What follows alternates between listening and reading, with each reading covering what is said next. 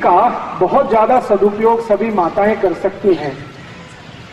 मासिक पानी से जुड़े हुए एक बहुत खराब रोग में इस तुलसी का बहुत अच्छा उपयोग होता है। सफ़ेद पानी आना, पांडरे पानी की शिकायत, जिसको हम सब लोग आजकल बहुत परेशान है। काफ़ी माताओं को ये तकलीफ़ आजकल हो रही तो पांडरे पानी जाने की शिकायत जिनको है, अंग्रेज़ी में जिसको ल्यूकोरिया कहते हैं, इसकी सबसे अच्छी औषध है यही तुलसी। श्याम तुलसी। इस श्याम तुलसी का भरपूर उपयोग करिए, आपको इस बीमारी से बिल्कुल आसानी से निजात मिल जाएगी। इसको लेना कैसे है? तरीका मैंने बताया है कि इसका काढ़ा बना के ले सकते हैं, नहीं तो चटनी बना के रस निकाल के ले सकते हैं। और जिन माताओं को ज़्यादा दिनों की ये शिकायत है, श्वेत प्रदर की, लिक्योरिया की, उनको इस तुलसी के रस के साथ खड़ी शक्कर ज़रूर खानी चाहिए। तो ज़िंदगी भर के लिए आपको ये बीमारी खत्म हो जाएगी।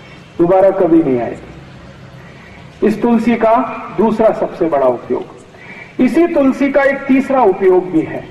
बुज़ुर्गों को जो अधिक उम्र के व्यक्ति हो गए हैं, जिनको पेशाब की अक्सर शिकायत आती है, बूंद बूंद पेशाब आती है फूलकर पूर्वी भी पेशाब नहीं आती। लघवी के लिए जाते हैं, लेकिन लघवी नहीं होती। कई बार ऐसा सेंसेशन आ जाता है।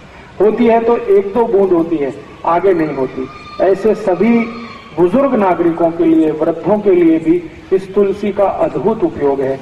तरीका मैंने बता दिया, एक ही है, या तो काढ़े के रूप में, नहीं तो उसका रस।